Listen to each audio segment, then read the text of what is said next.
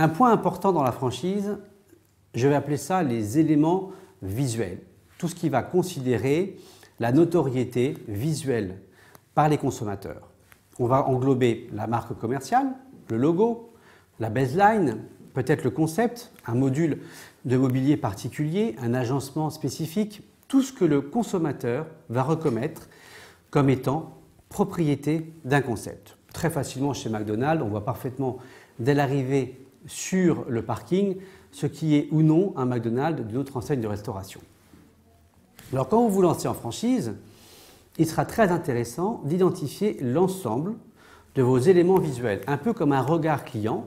Vous circulez à l'intérieur de votre enseigne et vous repérez, votre œil va repérer tout ce qui est assimilé à votre enseigne. Une fois qu'on a fait l'exercice de tout récupérer, on va le classer. Qu'est-ce qui doit être protégé? Au sens de la propriété intellectuelle et qu'est-ce qui ne doit être que, on va dire, mis euh, dans une enveloppe solo, comme on peut le faire maintenant, avec une protection un petit peu moindre. Il ne faut pas oublier non plus ce qui relève des droits d'auteur. Bref, une fois qu'on aura identifié les différents éléments visuels, qu'on les aura protégés, on va s'intéresser ensuite à les restituer pour les partenaires.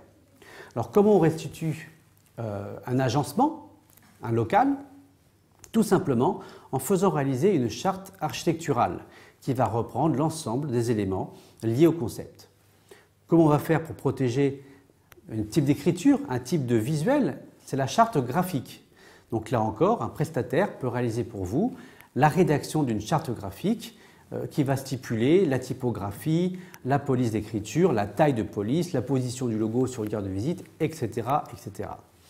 Et donc après la charte architecturale, après la charte graphique, on va avoir un troisième livrable que je vais appeler le bouc des visuels et qui va concentrer l'ensemble des éléments publics promotionnels que pourrait utiliser un futur partenaire. Avec les trois outils, vous êtes à peu près certain de maîtriser tout ou partie de votre concept.